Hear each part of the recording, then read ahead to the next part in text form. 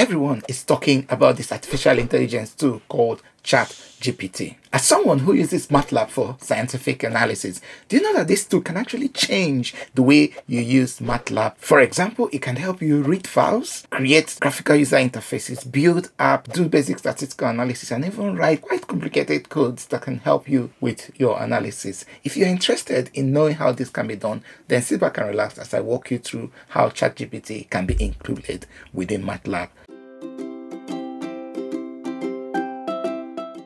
So, what is Chat GPT?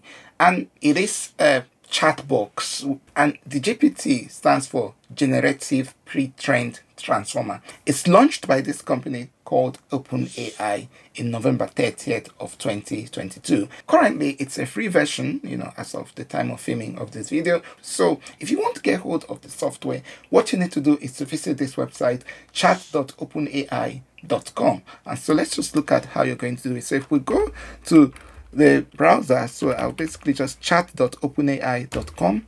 And when you get into the software, so basically this is what it looks like. There is um, a light mode. So normally by default, it comes up with a light mode, but I prefer to have it in a dark mode. And, and that's what you will see. So it's quite a minimalist um, web page. And here I've logged into my account if you don't have an account, then you need to log in as well.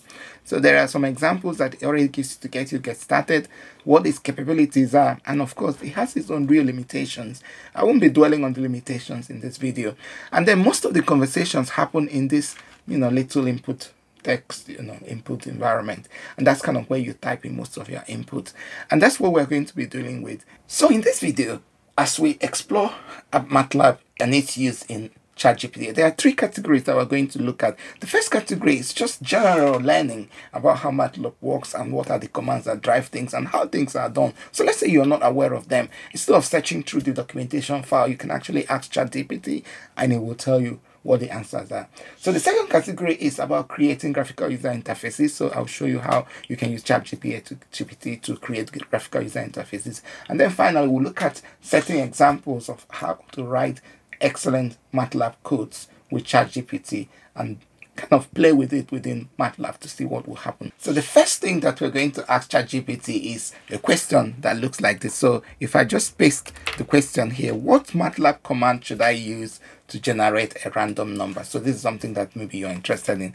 So if you do that, then what ChatGPT will do is it will give you some information, and it's already giving us some information about this, saying that you know the command that you need to use is this RAND command, which is called a RAND command, and then it demonstrates to us how it can actually be used to generate it. Let's say you're generating between number 1 and 10. So it says this is how it will work. You can also use the rand plus an n to generate a number for a standard normal distribution. And then you could also use other versions of that. I mean, what makes this really interesting is that it's answering these questions for you, you know, so that you can then pick out what you want to do from that. So that's number one. If this is the kind of content that you like, please do subscribe to this channel so that when contents like this are made, you'll be the first to see it. And I'd like you to tell me in the comment in the comment section, what is your opinion of ChatGPT? Do you think it's really a good software or a bad software? Do you think it's going to help you with learning about MATLAB or other software? What is really your impression? Because there's a lot of discussion going on there about uh, ChatGPT. So I, I would like to know in the comment section what you think.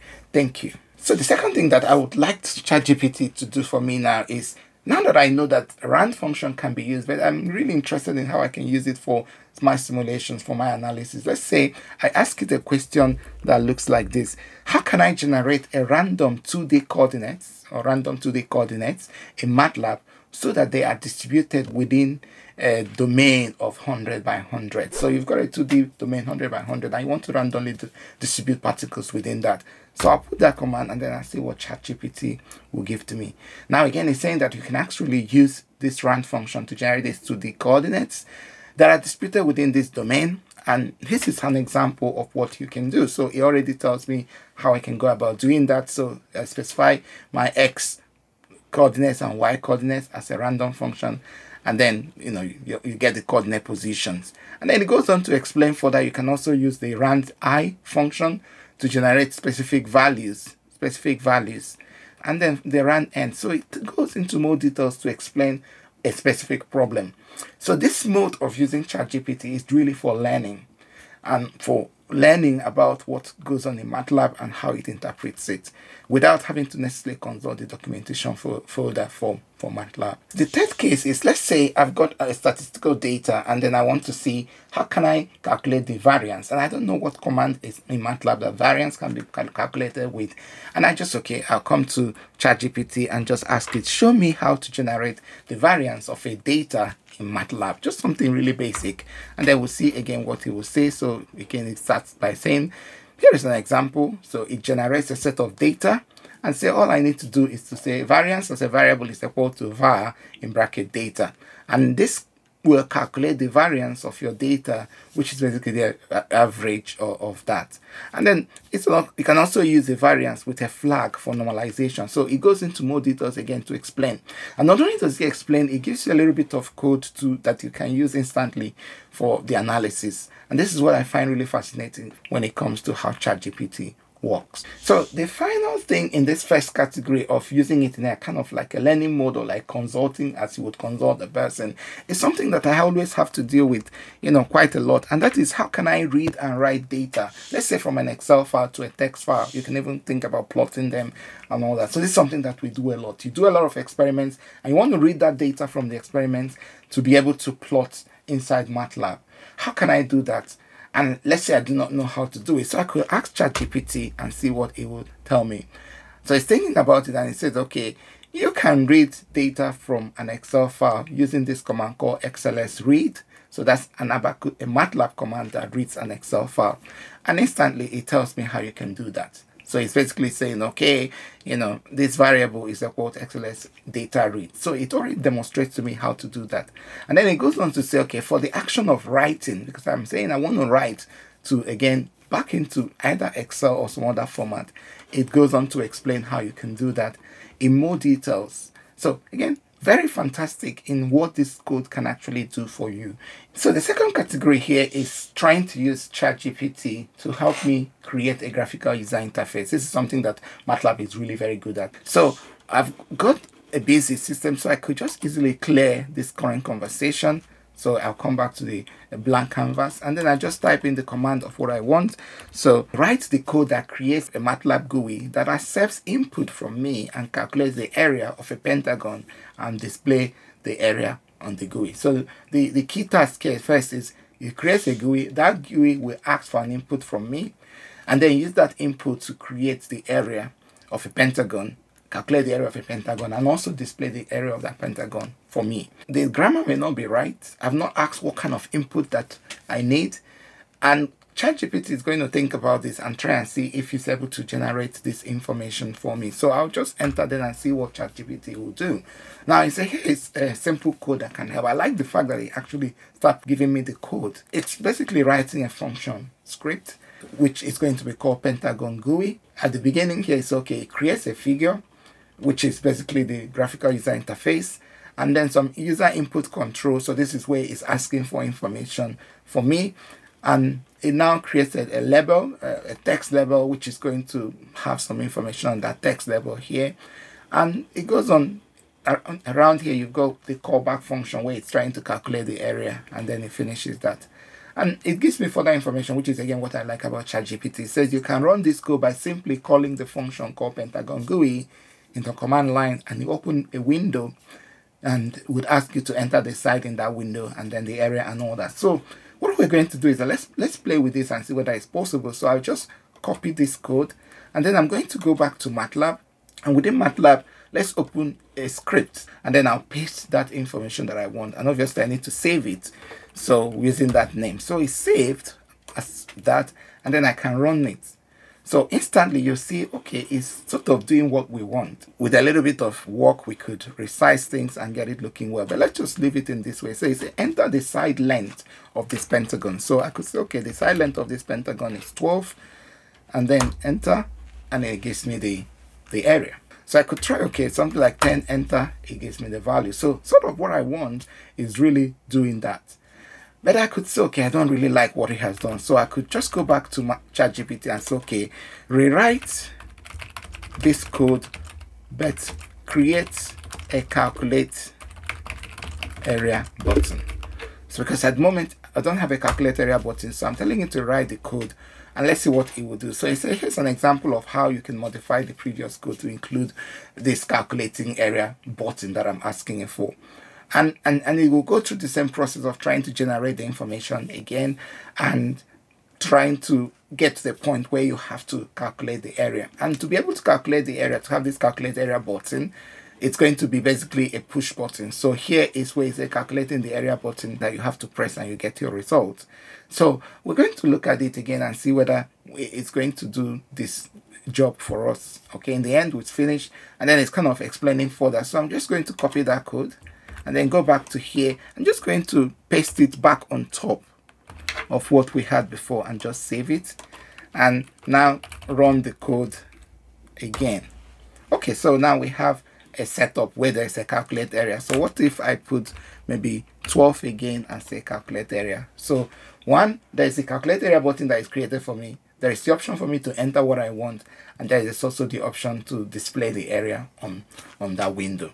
So this is just ChatGPT generating the result. It's really very interesting that without you even knowing how this is done, the ChatGPT is generating the information for you.